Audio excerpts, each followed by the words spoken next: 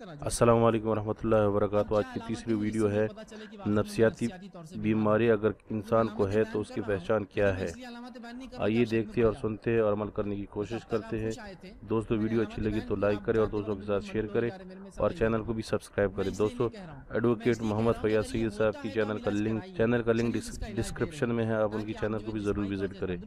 شکریہ، اللہ حافظ۔ سے بھی تندرست ہے۔ آئیے چند علامتیں جو ایسے شخص میں ہوتی ہے جو روحانی طور سے بیمار ہوتا ہے، وہ کیا ہے؟ پہلی دیکھیے، اللہ کے ذکر اور اس کی اطاعت سے اراض کرتا ہے۔ آپ بولی نماز پڑھو تو میرے سے نہیں ہوتی۔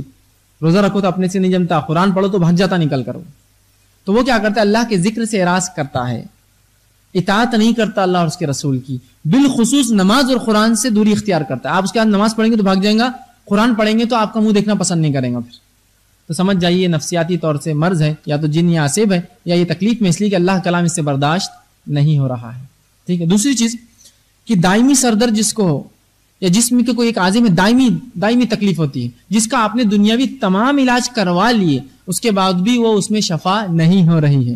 کیا کہہ رہا ہوں میں پھر سنی؟ یہ نہیں کہ آج ہو گیا تو آپ بولیں دیکھو انہوں نے بولے آج ہو گیا میرے سر میں درد۔ دائمی سر درد یا دائمی جسم کے کوئی اعضا میں درد، جس کی تمام تر علاج کے بعد بھی دنیاوی شفا نہیں ہوئی۔ تو سمجھ جائیے یہاں رقیہ کی ضرورت ہے، آپ کو دوا کی نہیں، بلکہ یہاں اس دعا کی ضرورت، ٹھیک، اسی طرح سخت غصے کی غصے کی حالت کہ انسان اپنے اوپر بالکل کنٹرول نہ رکھ پائے، یہ انسان کو بہت ضرورت ہے کہ ذکر و اسکار کرے۔ سخت غصے کی، جس میں آدمی پاگل ہو جاتا ہے۔ یہ بھی جو ہے نفسیاتی کمزور انسان اس لیے کہ رسول اللہ فرماتے ہیں، مضبوط اور طاقتور انسان وہ ہے جو اپنے غصے پر قابو کرے۔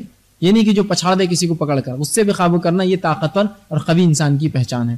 اسی طرح جو ہے، چوتھے، ذہنی انتشار۔ آج ذہنی انتشار کے اتنے لوگ ہیں کہ جس سے کوئی انتہا نہیں۔ ذہنی انتشار کیا ہے کہ مومن اپنے ڈیسیجن طے نہیں کر پاتا یہ کروں یا یہ کروں یہاں جاؤں یا یہاں جاؤں یہ کرائے نہیں۔ یا پھر ذہنی انتشار کی مثال ہے کہ کوئی کام کر لیا، یہ سوچتا نہیں کرا۔ یا کسی کام کو بار بار کر کے اطمینان حاصل کرتا ہے کہ ہوا کیا۔ ذہنی انتشار، مثال کے طور پر یہ مائک مجھے بند کرنا ہے۔ بند ہو گیا نا؟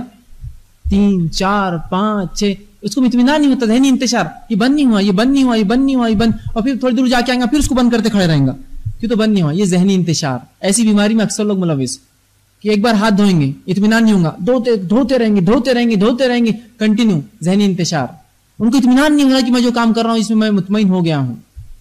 یا کسی کپڑے کو پہنیں گے، سوچیں گے نہیں، خراب ہے، اس کو اتار دو، اس پہ گندگی ہے۔ پھر پہنیں گے، نہیں، خراب ہے، اس پہ گند۔ خام خواہ ذہنی انتشار۔ نمازیں پڑھیں گے تو شکوک میں۔ نماز ہوئی نہیں ہوئی، چار پڑھا ہے تین پڑھا چار پڑھا ہے تین۔ ہر نماز کو شک میں۔ وضو کیا تو وضو ہوا نہیں ہوا، وضو ہوا نہیں ہوا غسل کیا تو لگتا غسل ہوا نہیں ذہنی انتشار۔ اکثر لوگ اس بیماری میں ملوث ہوتے ہیں۔ ضروری ہے کہ پھر آپ ذکر و اسکار میں بہت اہتمام کریں۔ یہ ذہنی انتشار ہے۔ آپ کو شیطان ٹکنے نہیں دے رہا مومن، چونکہ اگر ذہنی طور سے اسٹیبل ہوں گا تو وہ اچھے کارنامے انجام دیں گا نا۔ تو اس کو انتشار میں ڈالو۔ ارے تیری عبادت ہی نہیں ہوئی، تیرا روزہ ہی نہیں ہو رہا، تیری وضو ہی نہیں ہوتا، تیرا تہارتی حاصل نہیں ہوتی۔ اور اس معاملے میں سے کئی معاملہ زندگی کے بگڑ جاتے ہیں۔ ذہنی انتشار۔ ٹھیک ہے، اسی طرح پانچویں چیز، غیر فطری طور پر کثرت نسیان۔ غیر فطری طور پر بھول۔ مطلب ایک آدمی عام طور سے بھولتا نہیں تھا، لیکن اچانک بھول۔ یہ بھول گیا اور وہ بھول گیا۔ یہ مطلب غیر فطری۔ فطری طور سے تو بھول ہوتی ہے کسی انسان کو سو کام دو تو دس بھول جائیں گا غیر فطری بھول کی ایک آدمی مانا جاتا ہے کہ یہ اپنے اپنے بولنے میں، اپنے ذہانت میں ہوشیار ہے اور اچانک بھول کی اس پہ بیماری تاری ہے نسیان کہتے ہیں اس کو۔ اسی سے لفظ انسان آتا ہے کہ تو آدم علیہ السلام بھول گئے تھے کہ وہاں نہیں جانا ہے کھانے کو۔ اور وہ پھل کھا لیا، اسی سے لفظ انسان، انس، بھولنے والا۔ نسیان کی بیماری بھول چاہتا ہے۔ غیر معمولی طور پر ہاں، کبھی کبھار ہونا الگ بات ہے۔ اسی طرح چھٹی چیز، سخت کاہلی کے ساتھ پورے جسم میں تھکاوٹ محسوس کرنا، دن اور رات، سخت کاہلی۔ یہ کام کرو، نہیں ہوتا۔ وہ کام کرو، نہیں جمتا۔ یہاں جاؤ نہیں ہوتا۔ سخت جسمانی درد اور کاہلی اور سستی۔ یہ بھی انسان جو ہے ذکر اسکار میں اہتمام کرے، بالخصوص اپنا علاج کروائے۔ اسی طرح، رات میں نیند اچاڑ ہو جانا اور نیند نہیں آنا۔ کچھ لوگ ہوتا رات میں نیند نہیں آتی۔ یہ بھی یاد رکھیے، نفسیاتی پریشانی کی علامت ہے کہ انسان رات میں نہ سوئے، اس لیے کہ اللہ نے فطری طور سے انسان کو رات میں سونے والا بنایا۔ کتنا بھی جاگنے والا انسان ہو، رات میں اس کو نیند آتی ہی ہے۔ فطری طور سے اللہ نے رات کو اطمینان اور سکون کے لیے بنایا۔ اسی طرح، ساتویں چیز، ہمیشہ غم اور استراب اور تنگ حالی میں رہنا۔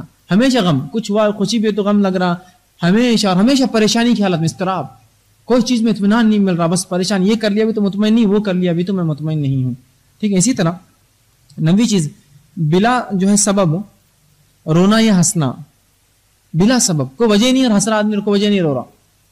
یہ بھی علامت ہے ذہنی بیماری کی، کوئی بیمار ہے ذہنی اعتبار۔ اسی طرح دسواں، ڈر اور خوف۔ ہمیشہ ڈر اور خوف میں رہنا۔